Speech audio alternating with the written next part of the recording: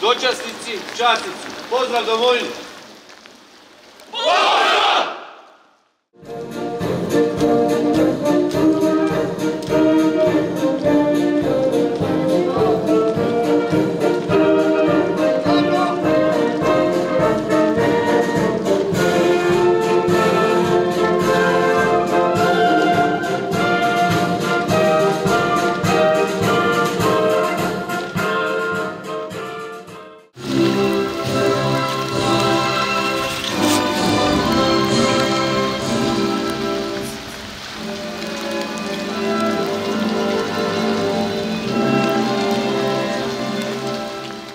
Do sada je 1872 pripadnika Oružanih snaga Republike Hrvatske sudjelovalo u ovoj operaciji.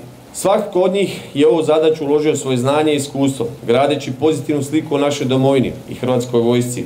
Vjerujem kako će svaki od 150 pripadnika 40. hrvatskog kontingenta nastaviti taj niz, znajući kako na Kosovu ne predstavlja sebe, već najdražu hrvatsku zastavu i domovinu.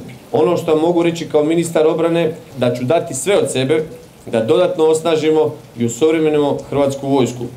To je naša zajednička obveza, ali dug prema hrvatskim braniteljima, prema onima koji su gradili i stvarali našu slobodu, sadašnjost i budućnost, a vi ste njihovi nasljednici. Sva tehnika i sva oružana sredstva su ništa bez motiviranih pripadnica i pripadnika Hrvatske vojske. Vama pripadnicima 40. kontingenta želim sretan odlazak u operaciju i uspješno izvršenje zadaća u toj operaciji. Vaša zadaća tamo bit će da doprinesete miru i sigurnosti na Kosovu. Miru i sigurnosti u našem širem susjedstvu što je od našeg posebnog nacionalnog interesa. Odora hrvatskog vojnika je prepoznata, a hrvatski vojnik je rado viđen i izuzetno cijenjen u prijateljskoj Republici Kosovo. Mogu jamčiti kako će i ovaj 40. hrvatski kontingent profesionalno i vojnički izvršiti sve zadaće koje se pred nas postave, pri tome vodeći računa o osobnoj sigurnosti svakog pojedinca.